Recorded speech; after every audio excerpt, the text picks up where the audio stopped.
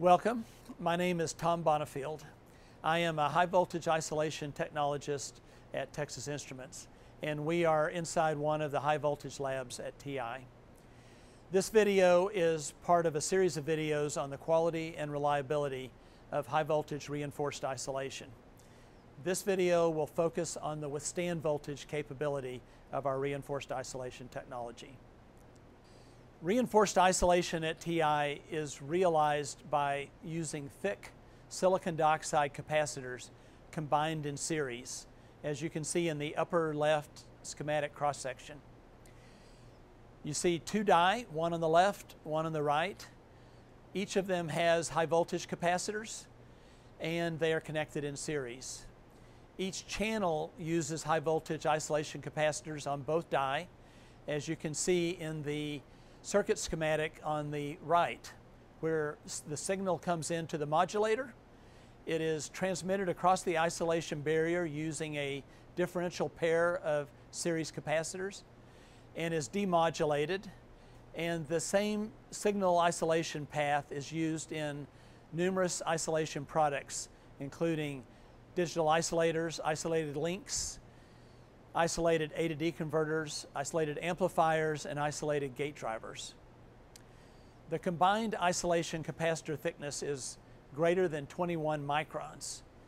This results in high voltage isolation ratings, including 12.8 kV surge voltage, 8 kV peak transient overvoltage, and 1.5 kV RMS for 40 years working voltage. Now let's look at the ramp to breakdown test. In the ramp to breakdown test, voltage is ramped at a rate of 1 kV RMS per second until breakdown occurs. When breakdown occurs, the breakdown voltage is recorded, and this is repeated on a population of units. Here's an example of this data. This is a data set of 1,130 units from 113 lots. And you can see that the mean value of the breakdown voltage is greater than 14 kilovolts RMS. That is much higher than the requirement of 5.7 kV RMS for VIOTM and VISO. The standard deviation is 0.36 kV RMS. The result is a tight distribution. How tight? CPK is a good metric for the ability of a distribution to have margin to the requirement. A CPK of 1 means that the distribution has 3 sigma margin over the requirement. A CPK of 2 means 6 sigma margin over the requirement. And this data set has a CPK of greater than 6. This data set demonstrates very high voltage capability. The next test is a surge test. Surge verifies the unit's immunity to very high voltage levels over a short period of time, such as a lightning strike. The surge peak voltage is required as part of the external standards IEC 61000-4-5 and VDE 0884-10 and 11. The surge test is a sample test. It uses a standard surge waveform as shown. The surge waveform has a 1.2 microsecond rise time and a 50 microsecond fall time. Each unit is stressed with 50 consecutive surge pulses, and then the unit passes or fails. It is confirmed after the surge using RIO, which is a measure of the resistance from the left side to the right side at 500 volts. It must be greater than 1 gigaohm. And method A leakage. Method A leakage must be less than 30 microamps when tested for 60 seconds at the isolation rating of 5.7 kV RMS. So at TI, we have a method for statistical analysis of surge characterization data. It's shown in this graph. The graph plots the surge fail rate as a function of voltage. The way we do this is that we test a population of units at different voltages and record how many of them fail. And what you can see from this is that at 12.8 kV there were no fails, and there were no fails up to 20 kV.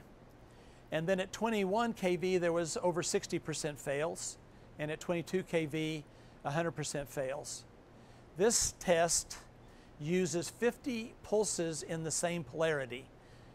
We call this a unipolar surge test.